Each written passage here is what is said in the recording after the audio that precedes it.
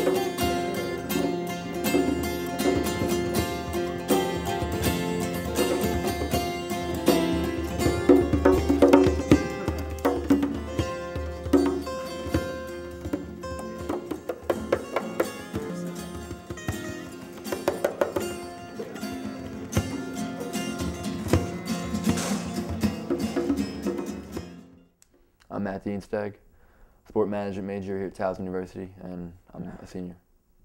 My name is John Eller. I'm a senior marketing uh, major at Towson, and I started Music Society because I wanted to get um, a bunch of different people together that love music, like to play music, um, share their music, and kind of bring them into one place. Thing we were both kind of surprised there was no club on campus that had um, any music groups in it, because that's what we really wanted to do at, a was like go to shows and like play music and stuff like that. And um, so junior year, we were sitting on this couch and we just were like, "Yo, let's just go for it. Let's, let's see what we can do. We'll, we'll talk to the SGA advisors. We'll see if we can start a club here." And we took the steps we had to do. We attended the meetings we had to go to, and we were able to start it by um, spring last last year, spring of our junior year, and it's been getting better ever since. Okay.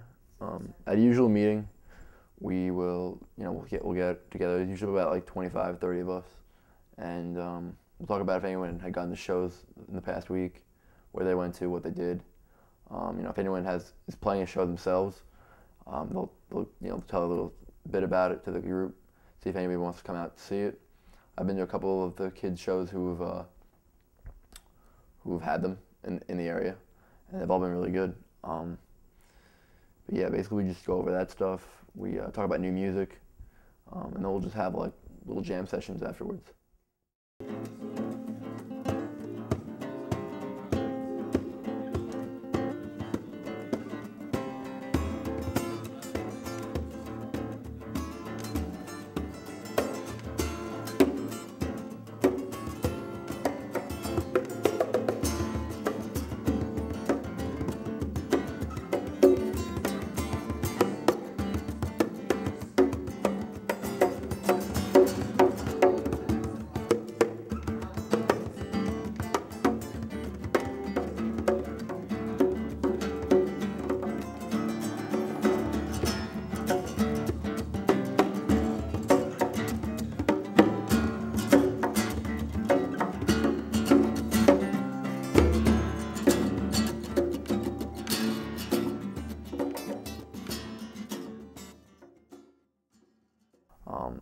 To get for our advisor, um, we I actually had a, he was my professor for one of my classes um, for cultural economy of sport last year, and um, I just saw I, it was around the time we were trying to start the club up, and we found out we needed an advisor, and I saw him wearing a Rage Against the Machine sweatshirt one day, and I was like, I wonder if he like is into music.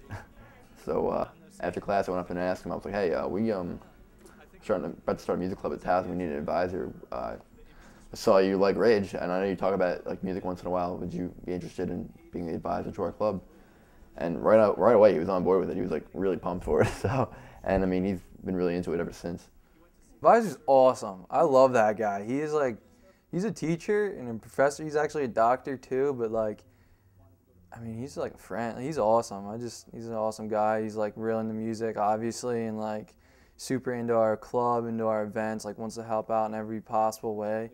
Hearing both sides of the story, like there's reasons why people believe that way. Yeah, yeah. Um, the biggest event we do is our open mic nights. Um, we try and have them.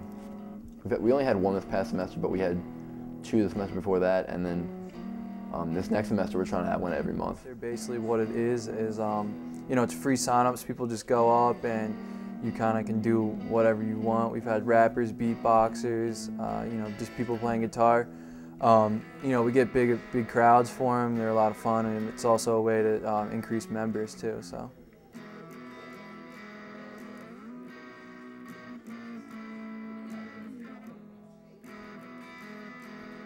Check out our Facebook page. It's the Music Society, Towson Music Society. You can check that out. Um, I mean, we have all the things like, you know, on the SGA site, we're like under involved at TU. You can check that out. We have posters. You'll see them with our emails. So yeah, I would check out the Facebook page. That's kind of how we get all the info out there.